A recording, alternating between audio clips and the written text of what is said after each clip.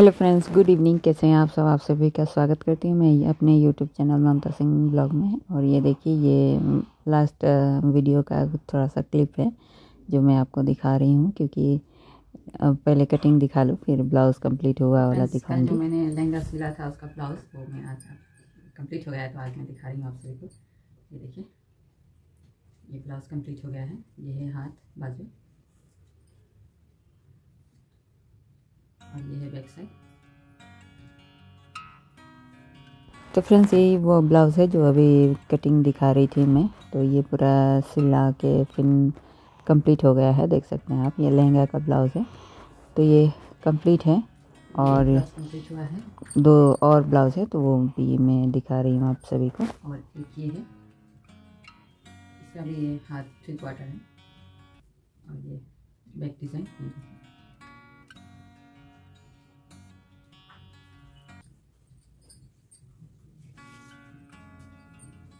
और ये ब्लाउज हुआ है, पर अभी इसका काम बाकी है अभी, पूरा फिनिशिंग करना कंप्लीट नहीं हुआ है अभी इसमें अभी कॉलर लगाना है तो ये कंप्लीट हो जाएगा तो दिखाऊँगी मैं।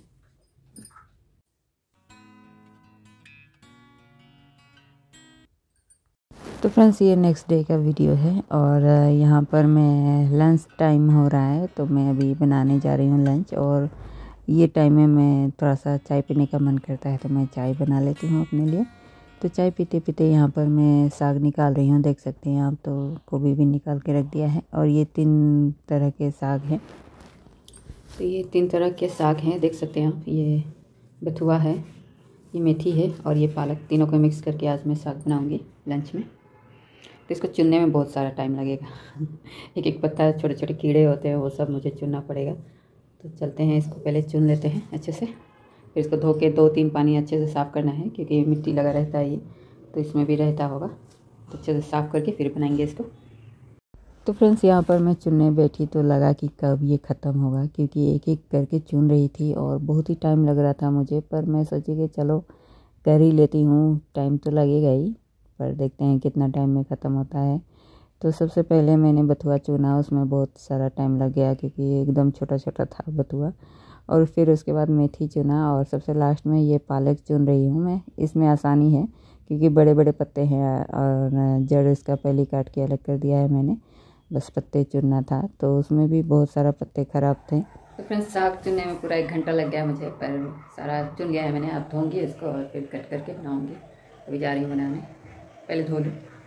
तो चलिए चुनने में तो इतना टाइम लगा, अब धोने में भी टाइम लगेगा, क्योंकि थोड़ा थोड़ा करके पत्ता मैं धो रही हूँ। इतना बड़ा गमला नहीं है कि एक ही बार मैं धो लूँ। छोटे गमले में है तो थोड़ा थोड़ा ले लेके मैं धो रही थी। और यहाँ पर मैं अदरक, लहसुन और हरी मिर्च सब काट उठ के रख दूँगी छौंकने के लिए, क्योंकि साग में ज़्यादा कुछ डालते नहीं हैं। बस अदरक, लहसुन और हरी मिर्च से छौंक देते हैं हम लोग। तो ये देखिए मैंने कट करके रख दिया है। तो यहाँ पे ग्रेट कर रही हूँ अदरक को और लहसुन को। और दो हरी मिर्च है तो इसको भी बारीक काट लूँगी। और काट उठ के इसका, इससे छोकूँगी साग को। तो यहाँ पर मसाले रेडी कर दिया है मैंने और ये रहा साग। तो इसको मैं पानी से निकाल के कट कर रही हूँ, एकदम बारीक। और यहाँ पर मैंने कढ़ाई चढ़ा दिया है गैस पे और सरसों का तेल डाल दिया है, इसमें अदरक लहसुन फ्राई करने के बाद में थोड़ी देर में हरी मिर्च भी डाल दिया उसको भी फ्राई कर लिया अच्छे से। और अब मैं इस, इसमें साग डाल दूँगी। और साग भी फ्राई होते रहेंगे आस्ते आस्ते पकते रहेंगे। ढक दूँगी इसे सारा साग कट करके डाल दिया है। और ये देखिए कितने कम हो गए हैं इतने ज़्यादा साग था। तो अब इसमें मैं नमक डाल दूँगी। पहले नहीं डालते हैं क्योंकि पता नहीं चलता है कि कितना डालना है क्योंकि साग गल के बहुत कमती हो जाते हैं। तो जब कमती हो जाते हैं तभी डालते हैं उसके अंजात से नमक। तो ये तो फ्रेंड्स, खाना बन गया है, चावल और सुबह का राजमा मैं बनाई थी नाश्ते में। देखिए तो ये भी बचा है, राजमा और पराठा बनाई थी नाश्ते में। तो ये बनाया ये है राजमा और साग, चावल। आज दाल नहीं बने, क्योंकि दाल हमेशा बच जाता है वेस्ट होता है, फेंकना पड़ता है।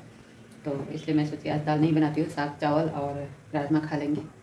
तो काम ख़त्म हुआ मेरा। सब किचन का काम। फिनिश और अब जाती हूँ सिलाई करने। टाइम है अभी थोड़ा सा साग क्योंकि बनानी है अभी तो बन जाएगा तो ईशान को खिलाऊँगी। और ये देखिए ईशान ब्लैंकेट ओढ़ के सोया है, ठंडे यहाँ पे। पर्दे उर्दे भी लगा दिया है इसमें तो सीना है। कल मैंने ये ब्लाउज सिया था। सिंपल सा है। कल ये ब्लाउज सिलाई किया था मैंने, ये देखिए, रात को। ये बैक हुक है इसका। ये फ्रंट पार्ट है। और हेम भी किया था मैंने, आधा ही। ये देखिए, गले पे हेम किया है, बस ये बाकी है। तो इसको हेम करना है और हुक लगाना है।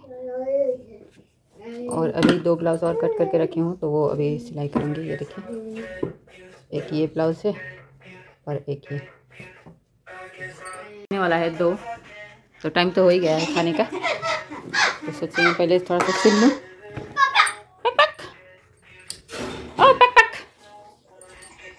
तो फ्रेंड्स साग बन गया है, देख सकते हैं आप, और राजमा, और चावल, और ये थोड़ा सा घी डाल दिया है मैंने चावल में, बहुत ही टेस्टी लगता है घी डालने से।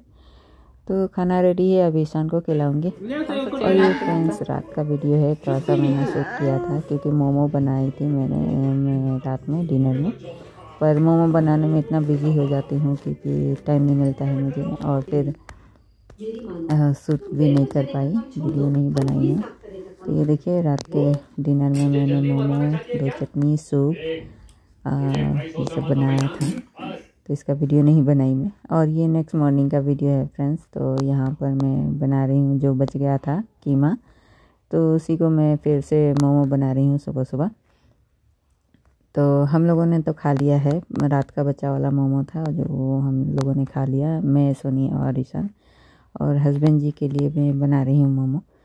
थोड़ा सा आटा साना था थोड़ा सा कीमा बचा है तो थोड़ा सा ही सानी थी तो ये बनाने के बाद फिर रख दूँगी। वो अभी मार्केट गए हैं, वो आएँगे तो फिर खाएँगे, उन्हें टाइम लगेगा आने में दस ग्यारह बजे जाएगा। तो मैं नहा वहा के पूजा वूजा कर ली हूँ सुबह सुबह सारा काम हो गया है मेरा, बस नाश्ता ही बनाना बाकी है, और हेलो फ्रेंड्स गुड मॉर्निंग कैसे हैं आप सब? आप सभी का स्वागत करती हूँ अपने YouTube channel Mamta Singh blog में, और रात में मैं मोमो बनाई थी। तो थोड़ा सा कीमा बच गया था तो मैं सुबह भी आटा सान के बना रही हूँ ये। हम लोगों ने खा लिया है, सोनी में और ईशान ने खा लिया है और हसन बाकी है तो उनके लिए बना दिया है मैंने और आकांक्षा को मैं फ़ोन करी थी कि आओ मोमो खाना है तो क्योंकि उसे बहुत ही पसंद है मोमो खाना। मतलब मोमो। तो तो आकांक्षा को मैंने फ़ोन किया था कि मोमो बनाई हूँ, आओगी? तो बोली कि आऊँगी थोड़ी देर में। तो उसके लिए भी बना दिया है मैंने मोमो। और थोड़ा सा आटा बच गया था मोमो का तो ये देखिए। तो मैं सोची कुछ बना देती हूँ इसका तो मैं सोची खस्ता बना देती हूँ, थोड़ा सा और सूखा आटा डाल के मैदा, चीनी और तेल मिला के अच्छे से मैं उसको मिक्स करके, बहुत टाइम लगा मुझे मिक्स करने में। तो मिक्स कर दिया है मैंने। और ये देखिए, ये बना रही हूँ खस्ता। तो अभी बना दूँगी, अगर हस्बैंड जी मोमो नहीं खाएँगे तो खस्ता खा लेंगे। ऑप्शन रहता है कुछ ना कुछ। तो मोमो तो बना दिया जितना था आटा और मतलब जितना कीमा था उतना मैंने मोमो बना दिया। बस आटा एक्स्ट्रा हो गया था तो उसी का मैं सोची कि खस्ता बना देती हूँ। पहले सोची, न कटर निमकी बना दूँ, फिर फिर मैं सोची कि नहीं, खस्ता बनाती हूँ। तो यहाँ पर मैंने खस्ता के आटा लगा दिया है और अब ये बना के इसको छोटे छोटे गोल गोल बना रही हूँ और इसको मैं तल दूँगी। तो अभी हस्बैंड जी नहीं आए हैं, वो आएँगे तो देखती हूँ, मोमो खाते हैं या फिर ये खास्ता तो फटाफट से बना लो। आते ही होंगे, अभी टाइम हो ही गया है उनका आने का। ये देखिए फ्रेंड्स आ भी गए।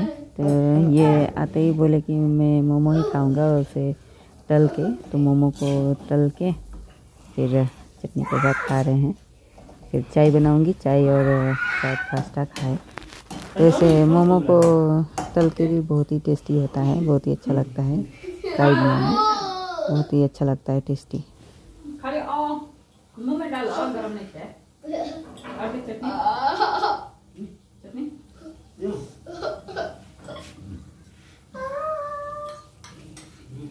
रेडी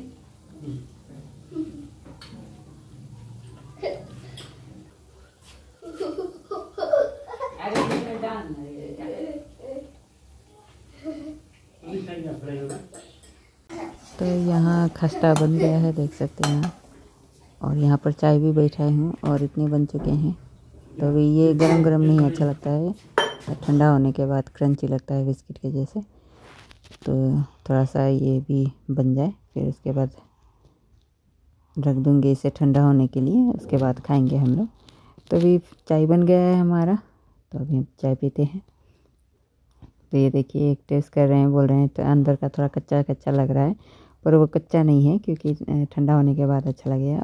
तो फ्रेंड्स, ये वीडियो बस यहीं तक और ये वीडियो आपको कैसा लगा अच्छा लगे तो लाइक, शेयर और कमेंट ज़रूर करेगा तो फ्रेंड्स, मिलते हैं नेक्स्ट ब्लॉग में। तब तक के लिए बाय बाय।